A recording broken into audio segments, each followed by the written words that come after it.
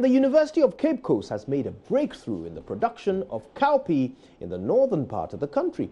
This follows the development of four new varieties of cowpea that are said to be a solution to the parasitic weed that impedes the cultivation of cowpea, thereby making cowpea farmers vulnerable in the northern region. Now, the new varieties of cowpea that have been recommended for approval, according to scientists at the University of Cape Coast, are disease resistant and capable of turning the economic fortunes of the farmers in the northern region. Richard Kwejonyakung has been paying attention, and here's what he learned. The four varieties recommended this week brings to seven the number of cowpea varieties discovered by the University of Cape Coast that have been recommended for approval in one month.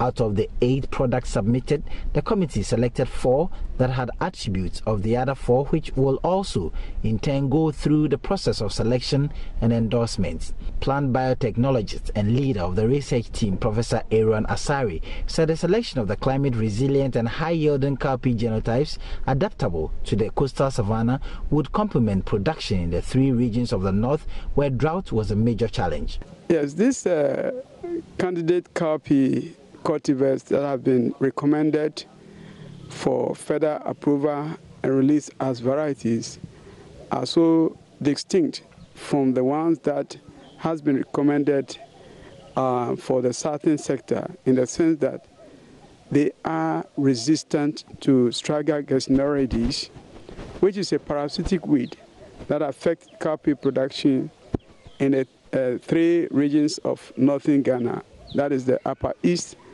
upper west, and the north. We have plans to make seeds available to the um, certified seed producers who would, uh, in the long term, uh, multiply the seeds and then commercialize it uh, for farmers to buy and then um, cultivate a senior lecturer at the Kwame Nkrumah University of Science and Technology, Professor Richard Akromah, is calling on the College of Agriculture and Natural Science of the University of Cape Coast to develop a product guide on the new variety of crops the college has researched into.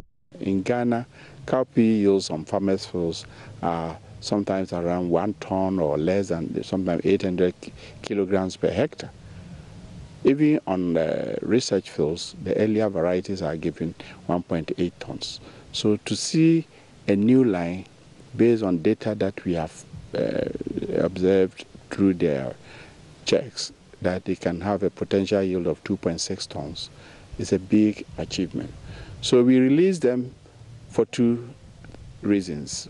One, their resistance to striga, and two, their resistance to the, the, the, the, the root rot disease and then on top of that they, are, they have superior potential. The varieties found to be more drought and diseases resilient and high yielding would be released to the seed production companies for onward distribution to farmers in the country after certification and approval by the National Seed Council.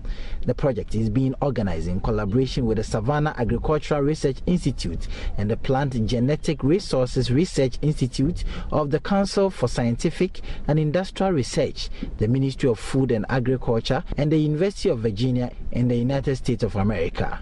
Richard Kwejo Nyakong, Joy News, Cape Coast.